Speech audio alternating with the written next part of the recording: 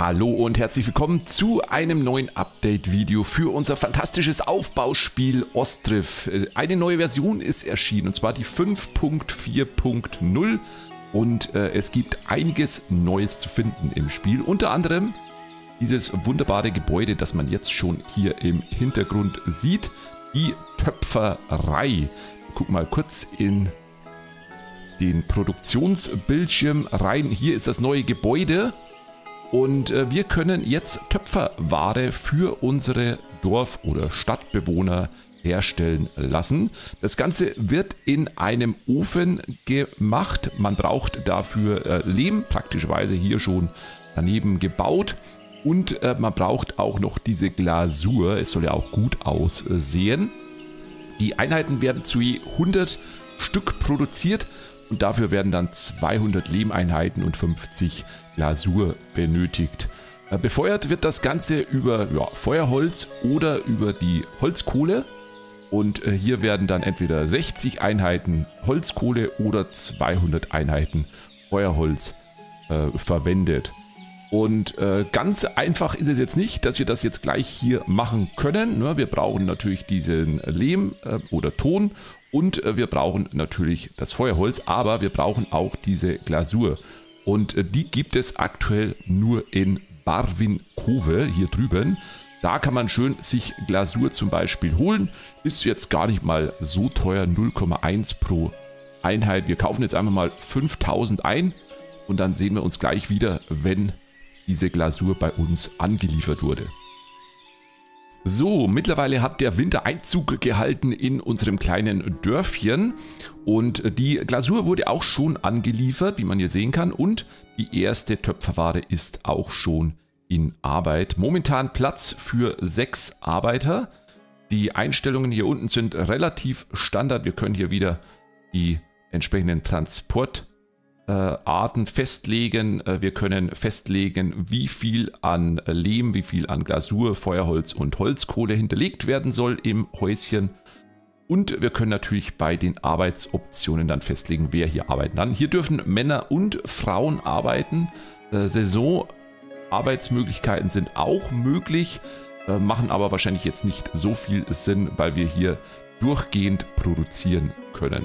Ja, und was machen wir jetzt mit dieser Töpferware? Diese Töpferware wird verkauft auf dem Markt für unsere Dorfbewohner und kann dann quasi hier am Marktstand unter Earthenware hier wieder eingelagert werden und ganz normal an die Bürger und Bürgerinnen verkauft werden. Neben der Töpferei gibt es auch noch diverse zusätzliche kleine Änderungen in diesem Patch, unter anderem weitere Dachvariationen für die Ziegelsteinhäuser. Da blende ich euch einfach mal kurz das Entwicklerbild dazu ein. Dann könnt ihr euch das anschauen, weil diese natürlich immer auch ein bisschen vom Zufall abhängen, wenn man die Häuser dann baut. Des Weiteren gibt es noch ein neues Dekorationsobjekt und zwar diesen formschönen Ziegelstein-Torbogen. Gebaut wird dieser aus Ziegelstein, aus Kalk und aus Sand. Weitere Änderungen betreffen unter anderem auch das Pflug- und Transportgewerbe, im Speziellen die Pferde und die Ochsen. Die lassen uns nämlich mittlerweile wissen, wie alt sie sind, sodass man hier gegebenenfalls auch relativ zeitnah wieder für Ersatz sorgen kann. Die Sattlerei bekommt endlich ihren verdienten Hilfetext für das Gebäude, um sich ein bisschen besser zu informieren.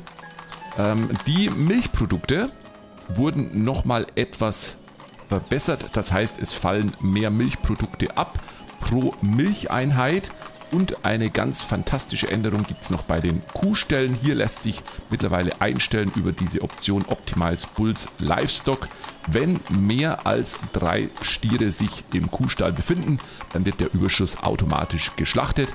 Und das sorgt dafür, dass mehr Kühe im Kuhstall sich befinden und dementsprechend auch mehr Milch für die Dorfbewohner abfällt.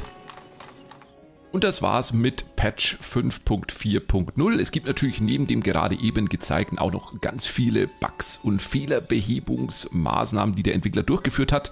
Freut mich sehr, dass das Spiel weiterentwickelt wird, dass man wieder was Neues zu sehen bekommt. Der Entwickler hat es ja aktuell nicht leicht. Er kommt aus der Ukraine und muss deshalb unter widrigen Umständen entwickeln. Und da ist jedes Lebenszeichen ist äh, echt Gold wert. Freue mich sehr, wieder ein bisschen was von Ostriff gesehen zu haben. Ich hoffe, euch hat das Video jetzt hier gefallen.